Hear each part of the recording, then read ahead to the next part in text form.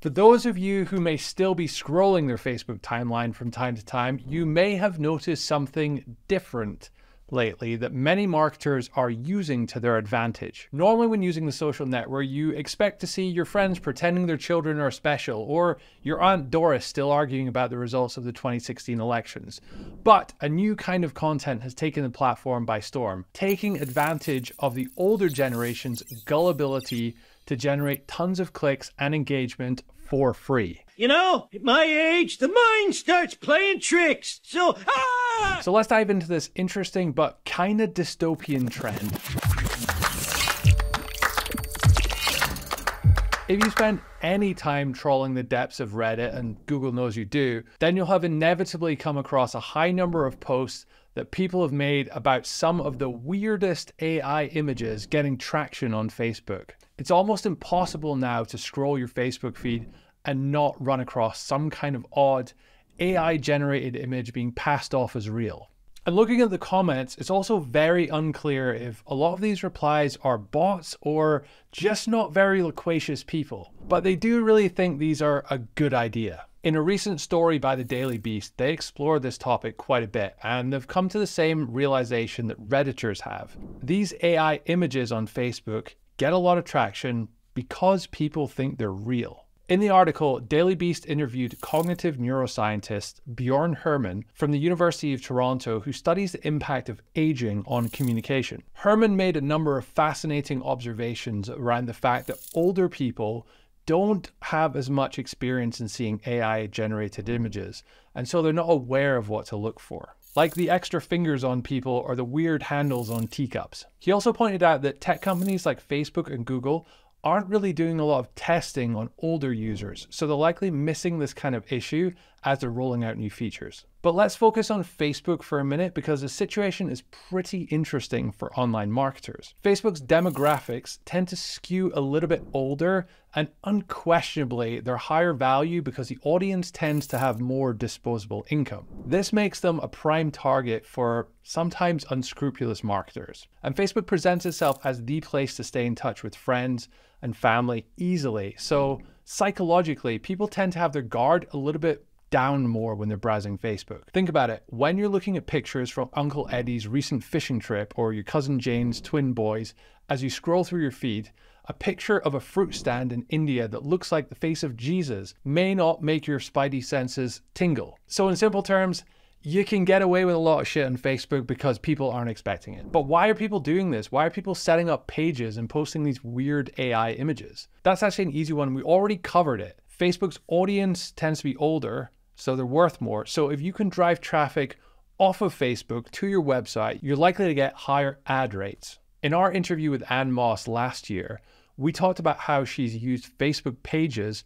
to drive traffic to her website. RPM is higher for Facebook. In some niches, we get better RPM from Pinterest traffic, but both Pinterest and Facebook are usually higher than Google traffic. With Google increasingly becoming an unreliable traffic source for small sites, publishers are turning to alternative forms of traffic like Facebook and Pinterest. And the other thing that Facebook has going for it is it's actually pretty cheap to buy traffic from. If you set up a Facebook page and create posts that link back to your website, you can promote those individual Facebook page posts and buy page likes, which increase the likelihood you'll end up in people's news feeds in the future. And when you can acquire page likes via Facebook ads for under 5 cents a like, it becomes easier to see a potential ROI here. In an email newsletter that Haseeb Alik from Strevio shared with his list earlier this week, he showed how he earned over $16,000 in revenue in the last 30 days with just a $4,000 investment in this strategy. Again, it's a pretty simple formula.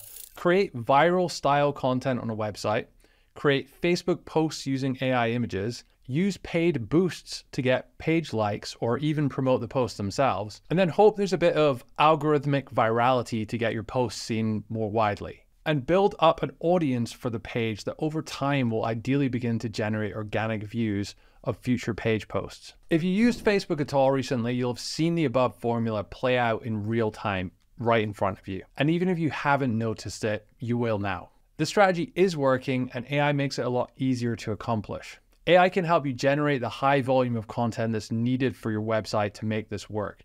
You can also use AI to summarize the content and create short, sharp clickbait posts to use on Facebook. Tools like Midjourney or DALL-E can create the AI images based off of the content that you use in the posts themselves. It's cheap and relatively easy. The key, though, lies in choosing the right niche and crafting ideas that are engaging enough to potentially go viral here. Niche selection and understanding virality do take some skill, though, and if you get this wrong, then you could find yourself wasting a lot of money on Facebook ads. But is this really sustainable? Well, maybe not. We're already starting to see Google cracking down on lower quality AI generated content created at scale. The sheer volume of it has overloaded their capacity to crawl and index at all, really. For years, Facebook convinced page owners to buy fans, which in turn ensured that their content reached the potential audience's eyes. Then in 2013, literally overnight, organic reach on Facebook page posts on the platform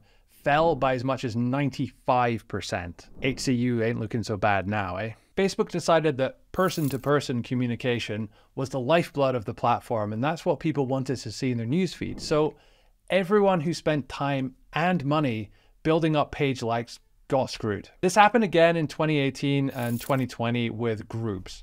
Facebook actually has a bit of a history here of convincing people to invest in ads and buy audience mass, and then rug pulls the organic reach away as some tactics become either too popular for their taste or deteriorate the platform experience. And with many publishers now turning to Facebook as a replacement for recently lost Google traffic, the problem has become even more obvious to Facebook. So, does that mean you should ignore Facebook traffic? Of course not. Facebook's a great source of traffic, and particularly if you can make paid traffic work. We use Facebook a lot Authority Hacker. It's one of our higher ROI channels, but we're not building fan pages, we're selling info products. So I would treat this fan page to website traffic system the same way AI content has worked on Google for the past year and a half. Before that big rug pull a few weeks ago when a ton of AI sites got completely de indexed use it to grow traffic, but don't just make a quick buck with ads. Capture people's emails, or better yet, sell them something so that when Facebook inevitably shuts it down, you still have a marketable audience and you've built a long lasting asset from a short lived but very effective traffic source. So, are you plotting your own Facebook traffic heist using images with six fingered, three legged children baking sourdough bread? Or do you just want to like travel photos that your friend Belinda posted last week? Let us know in the comments. We're keen to hear what you're doing on Facebook or what you're doing to diversify your traffic more broadly. And speaking of likes, why not drop down and smash the like and subscribe buttons so that the YouTube algorithms learns that we're an essential part of your viewing experience. We'd really appreciate it.